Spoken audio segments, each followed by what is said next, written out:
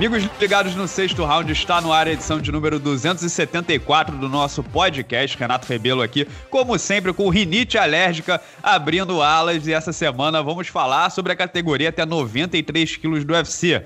Porque o menino lá, o tchecão Diri Prochaska, deixou mais um corpo estendido, aliás, de forma feia, né? Caiu o Dominique Reis e afunilou. Já temos as semifinais, já temos a final e a gente vai projetar quem estará vestindo o cinturão até o final de 2021. E para isso, claro, temos aqui o time caseiro, começando pelo meu patrão Lucas Carrano, CEO do Sexto Round, que vacilou esse fim de semana, né? A resenha do evento saiu quase 5 horas da tarde, porque é um vagabundo, né? Aguarde, Renato. Primeiramente, né? É, um bom dia, boa tarde, boa noite aí pra você, pros amigos do sexto round, André também que tá aqui com a gente. Pere, pois o abraço da cobrinha hoje vem, tá? Pode ficar tranquilo, senhor. E bom, cara, esse podcast hoje vai ter 35 segundos, né? Porque o André vai falar ir pro Chasca campeão, você vai despedir, eu vou dar um abraço da cobrinha, acabou o programa. Obrigado, Carlos. Belo teaser, mantendo sempre a audiência engajada assistindo o programa. Mas temos também aqui ele, André Azevedo, que pra variar tem quebra-quebra no fundo, né? Tem obra. Não sei se esse cara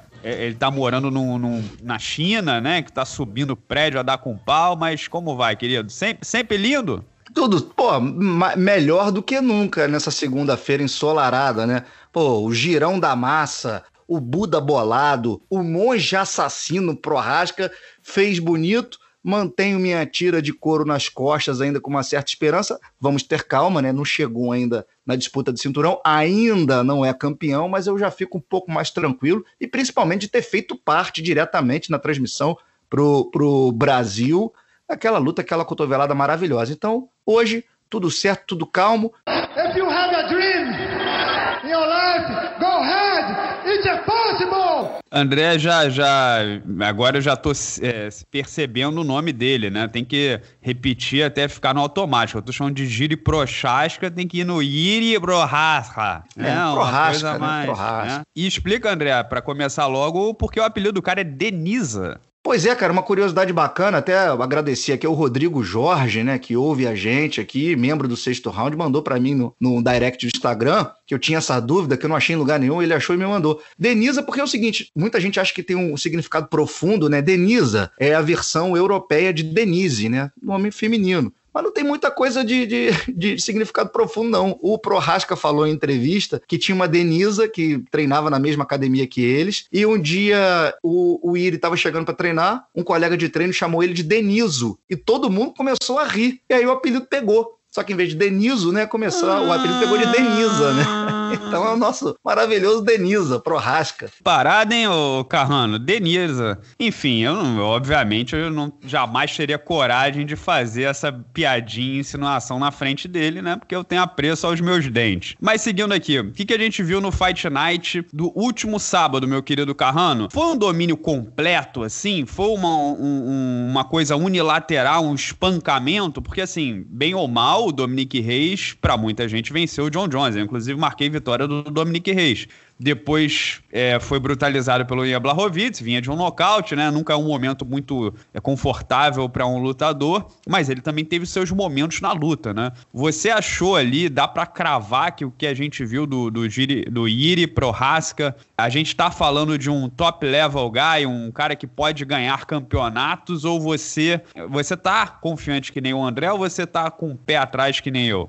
É, cara, eu confio com o pé atrás. Então, assim, digamos que ah, eu não tô ó, nem tanto ao céu, nem, hum. nem, tanto ao céu, nem tanto ao mar. no muro. E essa luta passou longe de ser uma luta unilateral. O próprio Prohaska, tá até no Instagram do sexto round, agora comentou sobre isso, falando que não gostou da forma como foi. E eu acho que aí fica o meu indício de dar um pouquinho mais de colher de chá para ele. Que ele mesmo é, fez essa autocrítica depois e falou: olha, é, eu não acho que é, muita gente tá falando, pô, foi uma maior vitória da sua vida e tal. Ele falou: olha, eu acho uma boa vitória. Foi, obviamente, o nocaute foi muito impactante, mas eu não gostei da minha atuação como um todo. Eu me senti muito exposto, muito vulnerável e não é a forma como eu gosto de lutar. Mas, Carrão, sinceramente, um vendo, não, não achei, né? Não, assim, não é a, a, rotina da carreira dele, já não faz isso há 30 lutas. Você acha que para ele ser campeão ele tem que mudar alguma coisa? E se ele tiver que mudar alguma coisa, por exemplo, se ele for pegar um cara mais frio, é, um striker um bom striker frio que acha as brechas e golpeia ele nos lugares certos, com esse estilo ele pode sofrer. E se ele tem como mudar a natureza dele, porque depois de 30 lutas ele segue fazendo a mesma coisa, né? É, não, com certeza é, é meio, parece ser o padrão dele, mas eu acho importante que ele tenha, assim, é, é aquela coisa, né? É um mecanismo de defesa. Eu não acho que ele vai mudar e vai virar um cara cerebral e. Não tô dizendo que ele é burro, não, viu, gente? Pelo amor de Deus. Mas assim, um atleta, né, que lute de forma mais estratégica e menos passional. Mas, pelo pelo menos adicionar alguns elementos disso ao jogo é muito importante, porque assim, eu não duvido que ele possa ser campeão desse jeito. Vai que ele chega, vamos supor, pega o vencedor de Glover e Jan Blachowicz. Vai chegar lá na luta, de repente acerta um golpe ali no início, o, o adversário, né, quem quer que seja, se empolga um pouco, eles vão pra porrada, ele pode ganhar, cara, entendeu? Óbvio, ele tem nível técnico, já mostrou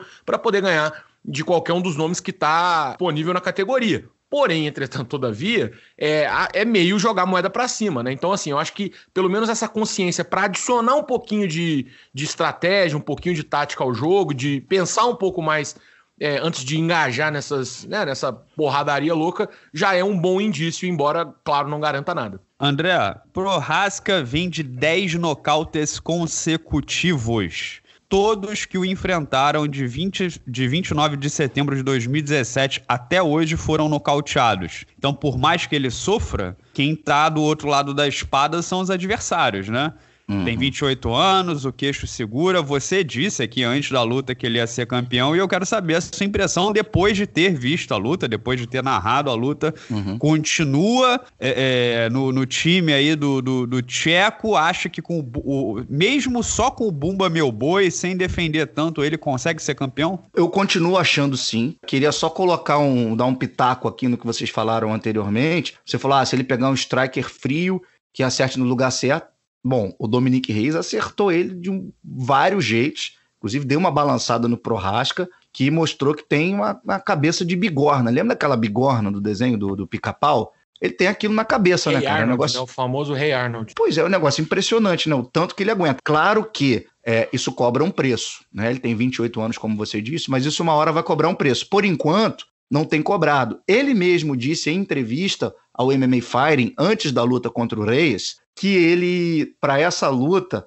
contra o Reis, ele iria subir um pouco mais a guarda, porque contra o Osdemir ele baixou muito, levou umas pancadas, que ele estava mais comedido para essa luta. Não foi o que a gente viu. Então, assim, por mais que antes da luta ele pense que vai levantar a guarda, pelo jeito, na hora, ele se emociona e luta daquele jeito, que é o jeito que ele sabe lutar, o jeito que ele vem emburacando todo mundo, né? Já são 10 nocautes seguidos, como você disse. E depois da luta, de novo, ele falou: bom, me emocionei um pouco, baixei a guarda, me expus, mas enfim, eu acho que é a natureza do cara. Se o troço vem dando certo, até ele ser nocauteado, eu acho que ele vai lutar dessa forma. Eu acho que ele vai ser campeão da categoria, assim, continuo achando, mas eu acho que vai depender. Não, não vai depender só dele, porque existe o timing, né? A gente está vendo aí uma luta do Glover com o Ian Boarovic em setembro. Dependendo de como desenrolar essa luta, a gente vai ver se vai pintar uma nova luta pelo cinturão contra o Iri ainda em 2021, porque assim, nada garante, né, Renato e Carrano? Não, exatamente, assim, é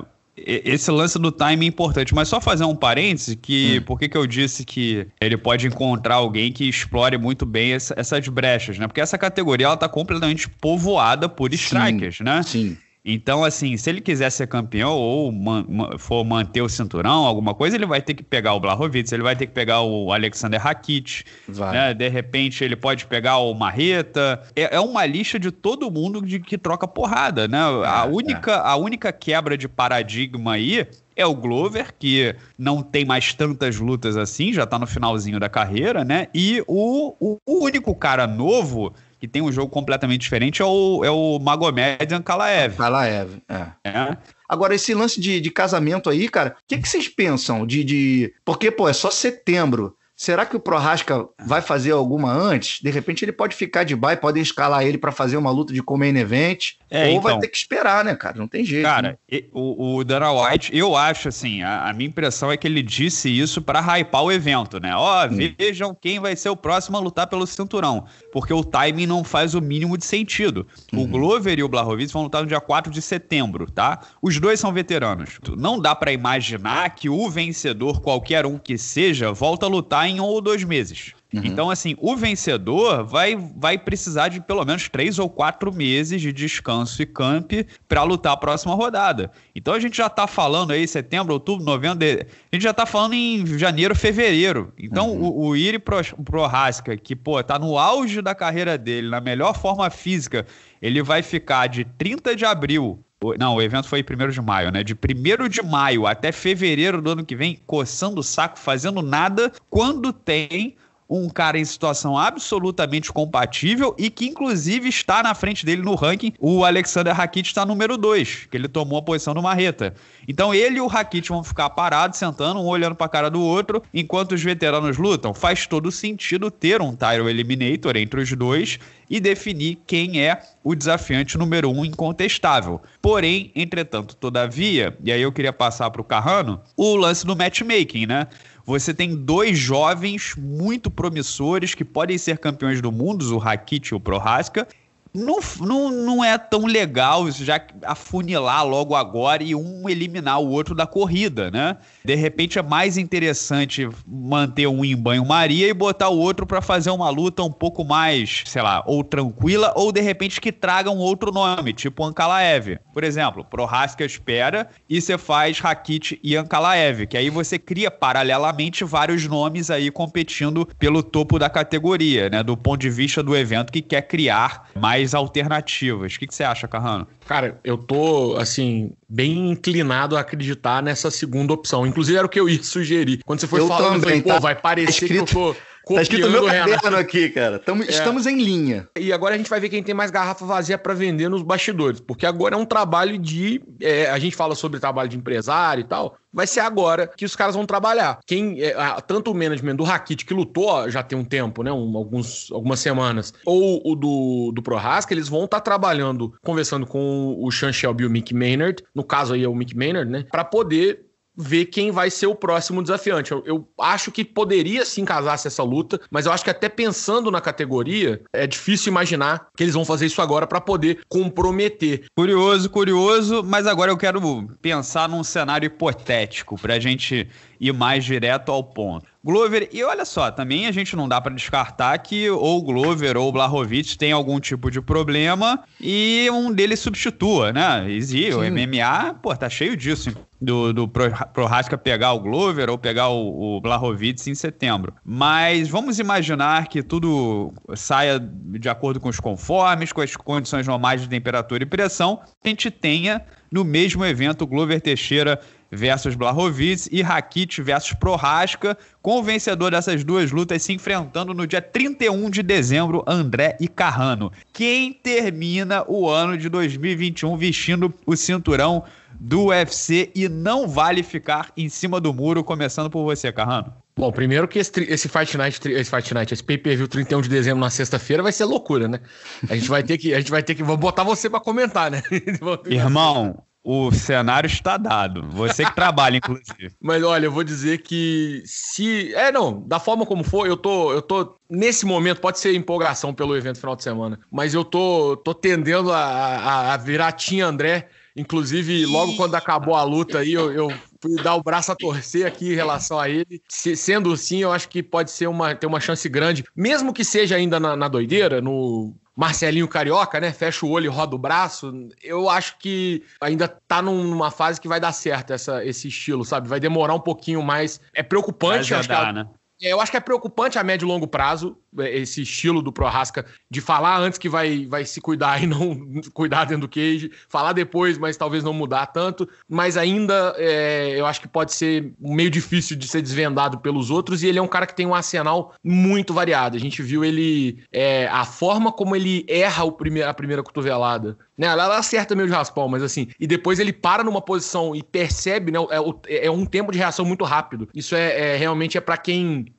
tem esse talento natural e trabalha muito nessa área do, do jogo. Então eu fiquei Talvez pode ser isso, como eu falei, eu ainda tô meio positivamente impressionado pelo homicídio em TV, em, TV nacional, né, que ele cometeu no fim de semana, mas tô com o André, eu acho que vai ser o Prohaska. Olha, e vale, vale ressaltar o seguinte, Prohaska campeão, ele fala um inglês muito chechelento, né? É, tipo assim, ele não fala nem o broken English, por exemplo, que o Habib fala. O Habib ele junta palavras, mas é, dá para entender completamente. O Prohaska é inglês, tipo, é, segundo mês de, de CCAA, né? é tipo assim, muito iniciante mesmo. Mas o carisma dele dentro do octógono, né? Esse caos, esse, esse pandemônio que ele promove é uma coisa assim que todo mundo vira fã dele só vendo, né? Não precisa falar nada. Ele tem esse esse tipo de perfil, por exemplo, que o Vanderlei Silva tinha e, e, outros caras é, na história também tiveram. E o Prohaska campeão, ele dá uma aquecida comercial também nessa categoria. De repente ele dá um comichãozinho no John Jones, ele começa a ficar grande, a República, ele vira o atleta do país, alguma coisa do tipo, e o, o Dana White ganha bragging rights, né? Ganha capacidade de sacanear o Bellator. Porque o grande. Depois que o John Jones saiu, o grande, o grande mote, o grande lema do, do Scott Coker é: temos a melhor categoria até 93 quilos do mundo. Mas e agora? Com o Jiri Prohaska, se for campeão, ele já venceu o Nenkov, né? O Vadim Nenkov. Então, você é, tem esse reforço de narrativa por parte do UFC. E o Romero Porém, saindo, né? E o Romero saindo do Bellator, né? E o Romero então, né? saindo, né? rapaz. Pois é, porra, tava seco para comentar o Romero e o Anthony Johnson. O exame no olho barrou o soldado de Deus. Mas isso é outro assunto. André, e aí? O que, que você acha? Eu sei que você já, já cravou que o Prohaska vai ser campeão do mundo, mas ele pode ser campeão do mundo daqui a dois anos, daqui a três anos, em outro isso. cenário, ele pode evoluir, uhum. pode mudar um pouco. Mas e agora? Se for isso aí, semifinal e final contra esses nomes. Você acha que ainda assim ele prevalece? Cara, olha só, eu acho que contra o Glover e contra o Boarovic, ele prevaleceria sim. Agora, ele fazendo uma semifinal contra o Rakit, bicho, o Rakit é um cara é um peso pesado lutando de peso meio pesado, né? É um cara monstro, um cara que bota para baixo, um trocador é um big boy, né? É um big boy. Assim, é. a gente tá a gente tá enxergando um cenário onde os dois vencedores dessas duas lutas vão sair é, 100% íntegros, né? Prontos para lutar três meses depois. É isso. Esse é o caso, não é, Renato? É, exatamente isso. É, tudo, tudo dando certo. Tudo dando certo. Cara, eu vou, eu vou com o monge da porrada. Não tem jeito, eu vou abraçado com ele até o final. Tá valendo tiro de couro nas costas. Eu acho que ele tem tudo para vencer o Rakit sim e chegar junto na final, vencer ou o Glover Teixeira ou o Boarovic. Acho que esse cara, ele é diferente. Ele, onde, onde muita gente vê brecha e braço abaixado e tudo, eu concordo, sim, tem brechas, mas é um cara que é o estilo dele, ele luta assim, é um cara que tem a cabeça diferente, um cara muito focado, assim, um samurai, um cara artista marcial mesmo. Você vê pelo cabelo dele, ele fez esse cabelo de guerra aí durante todo o camp, simulando o Moncon, né, que é aquele artefato ali que que os atletas de, de Muay Thai usam, né, para fazer o Ramuai, aquela cerimônia antes das lutas de Muay Thai. Ele usou esse cabelo de guerra durante todo o camp. Na luta chegou lá, usou. Você vê que é um cara diferente, assim. A leitura que eu faço que é um cara diferenciado, principalmente no psicológico. E já negou a chegada no UFC anteriormente. Outros anos disse que não estava pronto e agora ele se sente pronto. E eu acho que tem tudo, a faca e o queijo na mão para ser campeão. Eu vejo o Prohaska como um pacote completo. E tem mais. Foi derrubado, levantou, levantou bem, depois, naquela guilhotina, livrou a cabeça, levantou bem, tomou pedalada, caiu e continuou firme ali. Então, assim, é um cara que aos 28 anos não chegou nem no auge ainda. Vamos ver se esse queixo dele vai aturar, né? Vamos ver como é que vai ser a próxima batalha. Mas eu tô com eu tô com o, o Prohaska. Eu acho que o que vai acontecer nessa categoria, no, já no curto médio prazo, é que ela será disputada ali palmo a palmo por Rakit, Iri Prohaska e o Ankalaev né? Porque assim, Glover e, e ele não estarão no, no, longo prazo com a companhia, né? São dois caras muito veteranos. Talvez o, o um pouco mais tempo, mas assim, talvez ele caia um pouco pela idade, etc e tal. Por mais que ele tenha sido um cara que cresceu tardiamente, né? Eu acho que esses três que estão na casa aí dos 30 anos até um pouco menos serão é, os cabeças dessa categoria por bastante tempo. E assim, a minha dúvida, eu acho que o Prohaska ele tem como ser campeão sim. A minha dúvida é se ele tá pronto para ser agora, né? É, o André falou do Rakit também. Eu não sei se ele passa pelo Rakit, sendo muito sincero porque o Rakit é o oposto dele, né? O qual é a crítica ao Rakit? O Rakit é um baita striker, né? Um striker de, de, de, mão cheia. Mas a crítica a ele é que ele não aperta tanto o gatilho, né? Ele não é tão agressivo às vezes como poderia, como poderia ser. Então tem lutas do Rakit, você vê um round espetacular que você fala, pô, esse cara é campeão do mundo, ninguém vai parar ele. E no round seguinte ele tá andando para trás, andando pro lado, né, pontuando e, e, e levando na em banho-maria, né? Ele sabe fazer o o jogo estratégia da paciência, da calma, exatamente que o Prohaska não sabe fazer. Então a gente pode descobrir que acaba sendo encaixe ruim pro, pro Prohaska, que é assim, por mais que ele seja eficiente, ele é previsível. Você não espera nada dele além de agressão 100% do tempo. Então eu, eu assim, eu, eu disse na minha resenha pós-luta que o Prohaska é material para ser campeão. Ele pode ser campeão dessa categoria. Eu só acho que depende um pouco de timing e casamento. Uhum. Então eu não diria, não estou pronto para dizer que nesse cenário o Prohaska seria o campeão. Eu, se eu fosse apostar, se eu fosse ser conservador, eu acho que eu apostaria nesse cenário. Eu acho que ou apostaria no Rakit ou no vencedor de Glover versus Blahovic. Que eu acho o Blahovic. nomes só pra você apostar? Não quer mais? Não, você não, não, é... você apostar em cinco, velho. Vai Aí é mole, né, lá, pô? Patrão. O cara é o chefe, o cara é o chefe, acho que pode fazer o que quiser. Vou chegar lá, patrão. Eu acho o Blahovic favorito contra o Glover, né? Na altura do campeonato. O Blahovic melhorou muito, ele não é quedado há muito tempo. Ele em pé, por mais que o Glover seja bom em pé, tem o lance da velocidade. Eu acho que ele é favorito contra o Glover, pelo que a gente viu contra o Adesanya. E eu acho que o. Rapaz, é para dizer um nome? Eu nesse cenário eu acho que eu apostaria, se fosse botar dinheiro, eu apostaria no Rakit. Nesse cenário.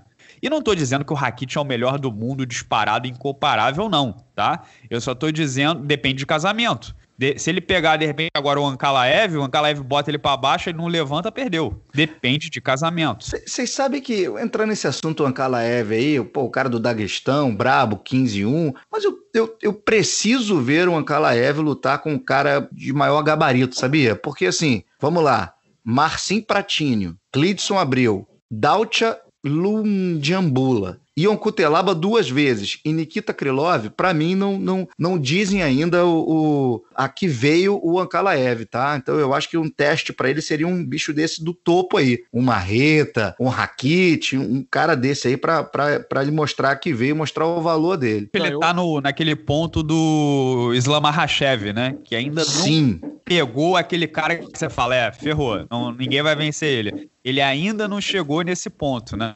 Agora, fazendo um parênteses aqui, ima assim, imaginem que o Ankalaev no futuro é, é, tudo isso mesmo e vire campeão. Meu amigo, o tal do Daguestão, que tem uma população de 2 milhões e 900 mil pessoas, que é mais ou menos o que tem em Belo Horizonte, né? Hoje, Belo Horizonte tem, tem na casa disso também. Você está dizendo que produz Habib Nurmagomedov, Islam Makhachev Ankalaev, você tem todo o clã dos caras. É, quem mais? Magomed Magomedov, que, porra, tem toda a pinta que vai ser campeão do Bellator também.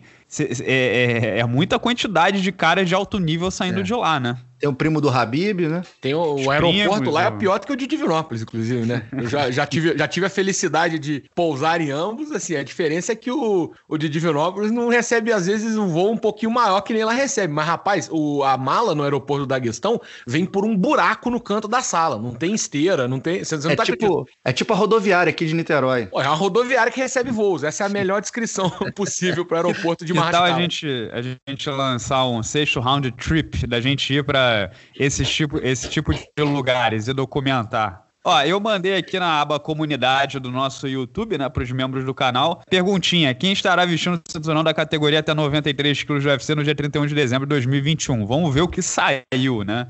Ó, o Humberto Aprile já manda Carlos Boi vai fazer um projeto de 120 dias com o Toguro, botar o shape e baixar de categoria, né? Esse é o, é o perfil dos nossos membros que a gente tanto ama, né? O Matheus Andrade da Silva, Rakit, lutador completo e pragmático, ó. Mais na linha do que eu falei. O Stefano Mahara Advocacia. Queria muito que fosse o Glover, mas o Ian tá me na melhor forma da vida. Pedro Massinhan. Gire, o galã de Niterói, disse: Quem sou eu para contrariar? Aí. Ah, moleque. Qual é o nome dele? É o Pedro Massinhan. Tamo junto, Pedrão. Ó, Catalão, Gire, um fenômeno. Ele contra Ian, Ian e Glover precisa, é, porém precisa melhorar o sistema defensivo, né? Contra qualquer um, né, na verdade. É, Luciano Ferreira, John Jones, se ainda tiver tempo hábil em 2021. Não tá com cara que o John Jones vai voltar, né? Você tem o Filosofia Games, Glover, vejo o Coroa finalizando o Ian. E caso lute com o Giri, vai levar knockdown. o Giri por cima, de forma afobada, vai ser raspado e finalizado. Olha aí. que mais? que mais? Temos ó, o JK é, indo no Ian.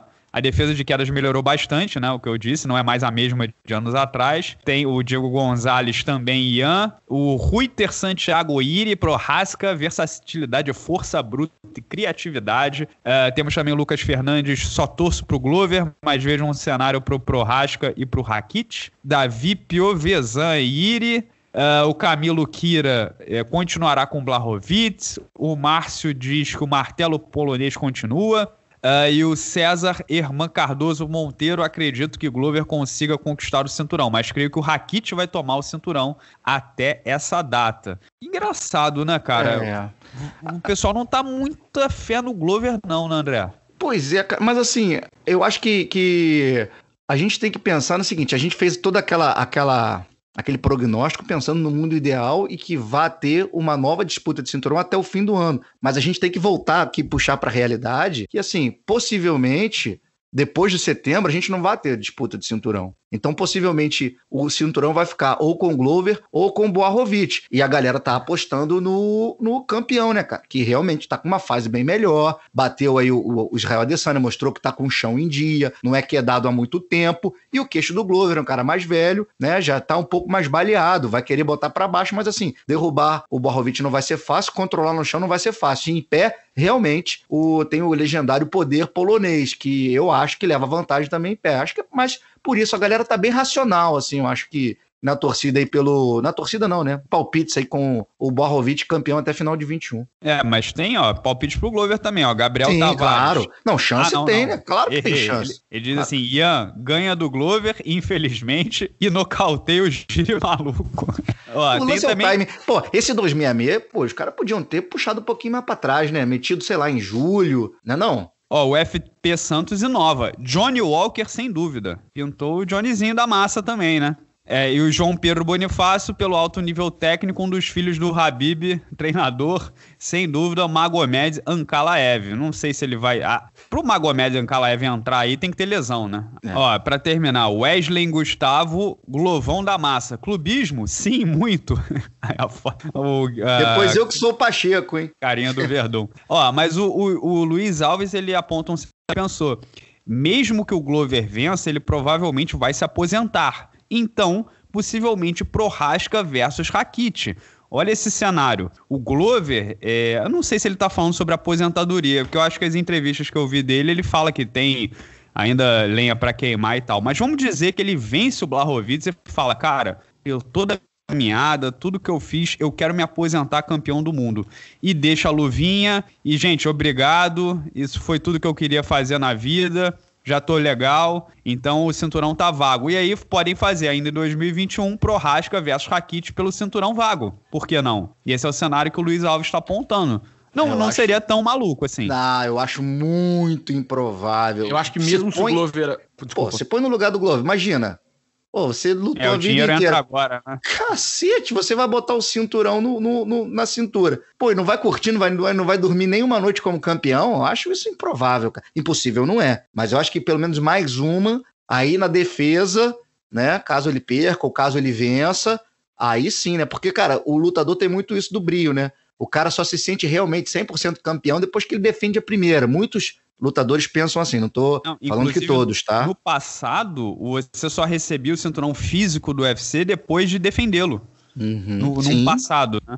Sim. Hoje em dia não é mais assim. Para não dizer que o pessoal não tá muito confiante no Glover, tem três seguidos aqui, ó. Cristiano Greco, Glovão da Massa, Juan Bonifácio, Glover Teixeira e Thiago França, Glover Teixeira também. Então tem Vinícius Venturini também, Glover Teixeira. Existem é, o pessoal confiando principalmente no grappling do Glover. É, tu vai falar assim com tua divisão comigo ou não vai falar assim, maricão? Comigo vai, vai falar com a tua divisão assim, ô palhação. Beleza, pessoal. Vamos encerrar aqui essa edição do nosso podcast. Meu querido Carrano, temos um abraço da cobrinha. Espero que não seja para mim, por favor. O seu primeiro, né? O seu primeiro. Tem, tem aqui, eu tenho uma lista, eu tive de anotar pra você ter uma ideia. Tem tanto abraço da cobrinha hoje que eu tive de anotar. O primeiro vai para você, nitidamente é, resolveu dormir mais que a cama, né? E foi vou entregar a resenha de tarde. E quem leva xingo sou eu. As pessoas cobram, né, Renato? As pessoas cobram. Eu fiquei. Que esculacha, sendo, André. Trouxe, trouxe cobrado. um pra dentro da casa, hein, André? Eu fiquei, eu fiquei, sendo cobrado o domingo inteiro e o pessoal falou assim: pô, você é muito lento pra editar. Eu falei, gente, calma.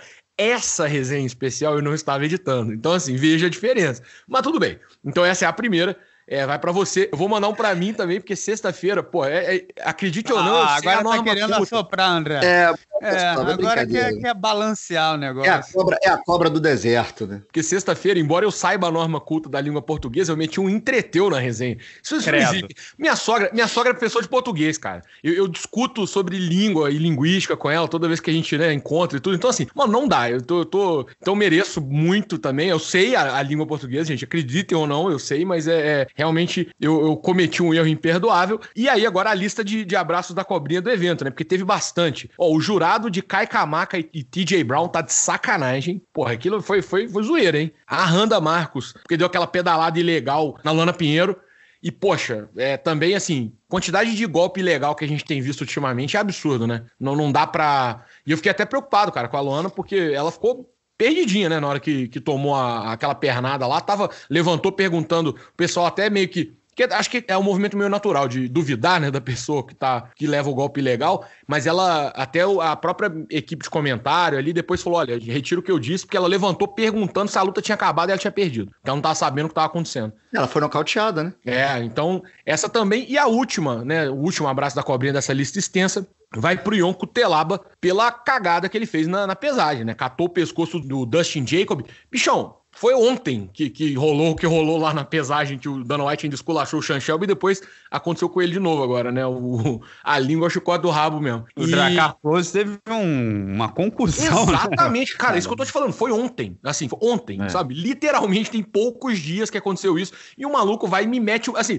não é para falar se ele deu um empurrão, ele chegou a cara perto, não, ele agarrou justamente o pescoço. Então, assim, brincadeira. né? Ele quinchou, né? Não, não, não, não dá, não dá. Isso aí, assim tem que, tem, tem que, que, acabar logo isso, porque eu falava muito com os atletas no, no brief, quando a gente ia fazer o brief antes de pesagem e tal. Eu falava, gente, é legal você dar uma aquecida pra luta, deixar o clima e tudo, mas não lutem aqui, porque a gente paga vocês para lutar no cage. Se vocês lutarem aqui, vocês estão lutando de graça. Eu vou achar até melhor não ter que pagar vocês para lutar. Então, luta no cage e aqui você faz um showzinho e tal, não, não erra assim. Meu querido André, um grande abraço aqui, fraternal à, sua pessoa e quero saber se temos o abraço do Pachequinho. Temos, temos sim, né? Tivemos aí três lutadores do Brasil nesse último card, quatro, né? Poliana Botelho, Luana Carolina, a Luana Pinheiro e o Felipe Cabocão. Mas o, o, o abraço do Pachequinho vai pro Josh Silveira, tá? Que nasceu nos Estados Unidos, mas é filho do Conan Silveira, portanto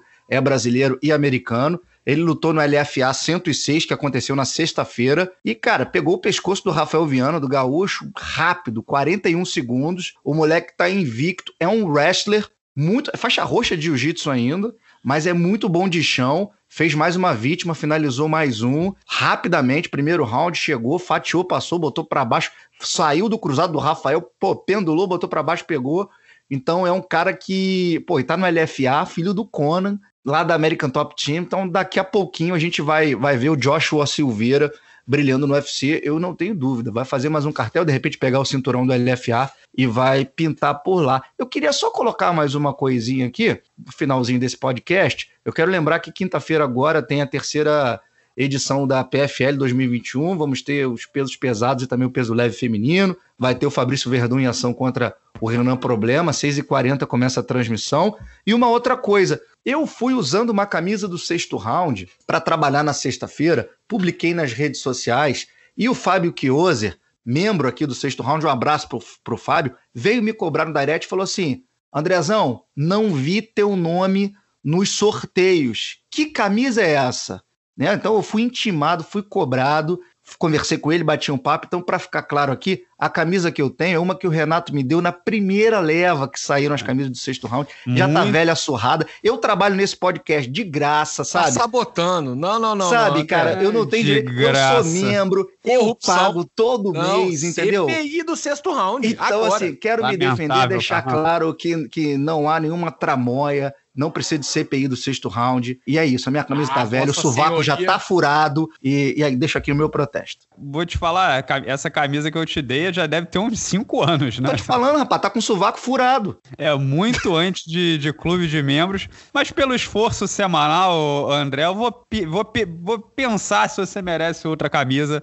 De repente a gente negocia aí. Pode ser, é, mas você vai mandar uma M que não cabe em mim, só pra falar assim, ó, só vai usar se você perder 15 quilos essa camisa aí. Só de sacanagem tu vai fazer isso, né? É, vou pensar se você merece, André, porque semana que vem você já não vem, né? Porque já é temos mais, mais umas férias, né? Vai tirar mais um mês. Não, ninguém aguenta mais, né? Não, man, não. Pô, são cinco dias de férias que eu preciso tirar, porque senão vai dar problema lá no, tá maluco, no Ministério do Trabalho. Ô, ô, ô, Renato, a gente já teve essa conversa. Eu não sabia que era possível ter esse tanto de férias.